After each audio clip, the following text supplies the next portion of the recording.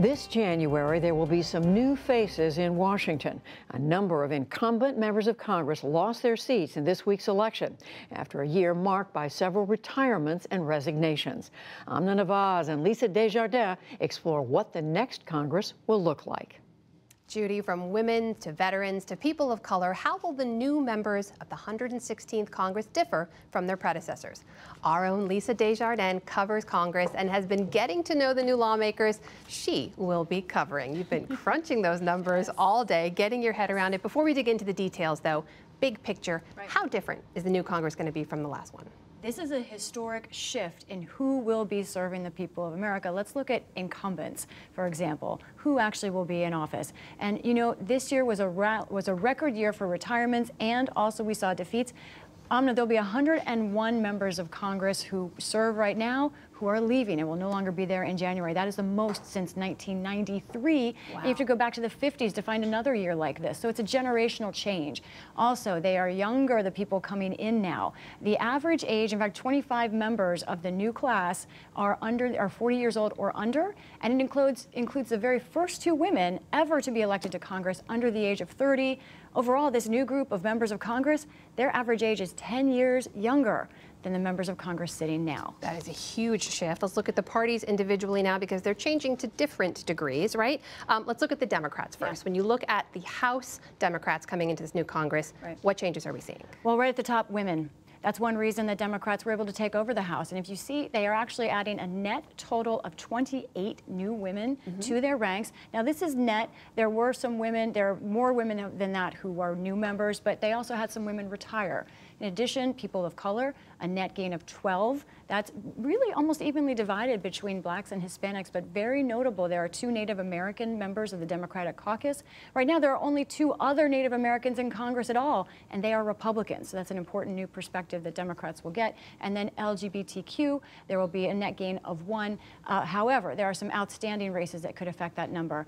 Veterans, there will be six new Democratic members who are veterans, and then that's something that obviously Democrats wanted to put on the ballot, and six of their Democratic veterans won. So that's on the Democratic side right. when it comes to the House. A lot of change we're seeing there. How about the Republicans? Well, Similar change? The Republicans lost seats, and they lost seats in some of these areas. Mm -hmm. So overall, we will see seven fewer women in the House Republican Conference, three fewer people of color, and that in large part is due to losses in places like Florida, mm -hmm. where Carlos Curbelo lost to a fellow Hispanic who is a Democrat. LGBTQ, there is no change. That's because there are no Republican members who are lesbian, gay, or bisexual. And new veterans, Republicans will see a big gain in that. Actually, well, they'll see new members, 10 new members who are veterans of, of the, the U.S. military. So these are the House numbers. What about the Senate? Yeah, so the Senate actually is going to look a lot like it does now, mm -hmm. with one exception. There overall will be three new women. We know that because some of them were appointed and won elections. Even though we saw Heidi Heitkamp and Claire McCaskill lose,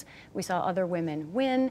And we're waiting on the Arizona race where two women are running. So that will be a gain. More women, but otherwise in diversity, the Senate will look just as it does now. And speaking of races, we are still waiting on the results for. Yes. We should note these numbers are based on the results yes. that we have. There are a number of races outstanding. What do we know about those? It's not over, people.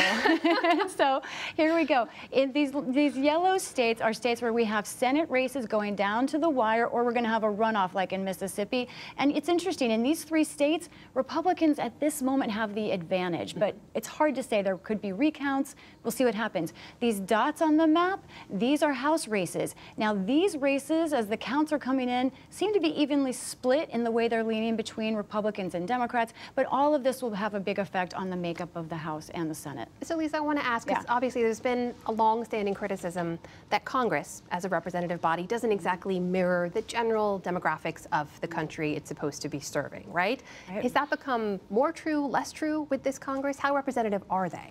Like everything these days, there are two ways to look at that. The first is that this will be the most diverse Congress this country has ever seen. There's no question about it. It'll have the most gender balance, it will have more ethnic and racial minorities in it that we've seen, and more lesbian, gays, and bisexuals. However, it still will not remotely approach what this country itself looks like. Right now, about 40% of this country is non-white. And of course, half of the country is made up of women. Mm -hmm. Neither the Senate nor the House looks remotely like that, and you can take out some subcourt categories like African Americans. Right now, there are three African Americans in the Senate.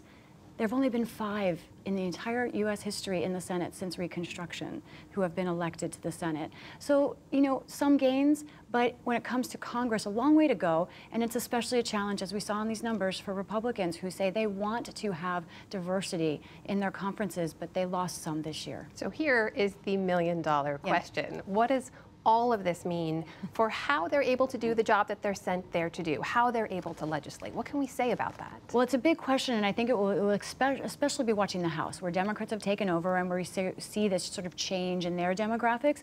Younger members, I think, are more interested in some more controversial issues. We see them talking about guns more, like Jason Crow, who's one of the new Democratic members. And I think that they're going to come in, much as we saw the Republicans who formed the Freedom Caucus a few years ago, and they're going to try to demand more more progressive, more aggressive change. How the leaders who have been there for much longer of the Democratic Party react is something we'll be following very closely. You will be following very closely yes. indeed. Lisa Desjardins with some really important numbers and context. Thank you. My pleasure.